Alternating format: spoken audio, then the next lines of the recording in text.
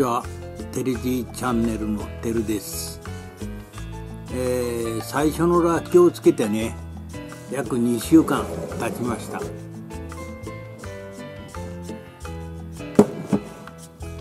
だいぶね黄色くね色がついたと思います。どのくらいついたのかねちょっと食べてみたいと思います。この中にもう入れました。こういう感じでございます。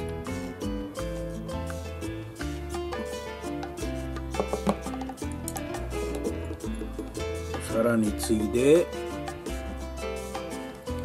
浸かり具合をねちょっと試して食べてみたいと思います、は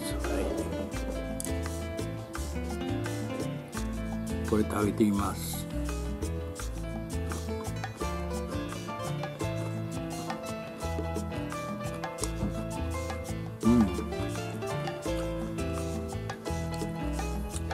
ちょっと早いかな思いますけどもね。まあ食べられないことはないです。はい、うん、かなり美味しいですよ。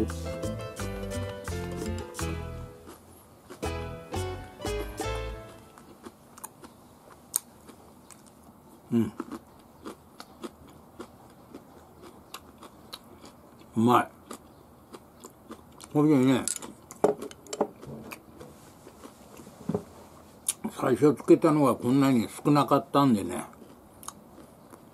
今日も第3弾はね3回目のねらっきょうの皮をむいてねつけました。はい。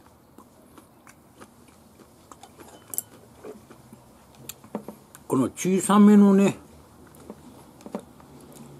大きいのはちょっと早いかなと思いますけどまあこれぐらい小さかればねもう使ってますね。うん。これぐらいになればもう食べれます。はい。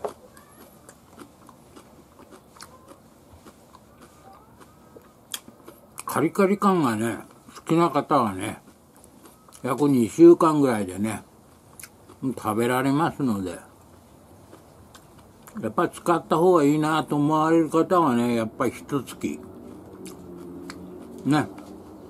待って食べられたらいいと思います。美味しいですよ。うん。食べられます。うん。はい。ということでね今日は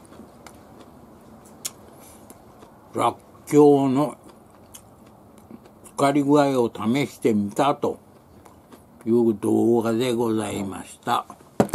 ではまたお会いしましょう。バイ。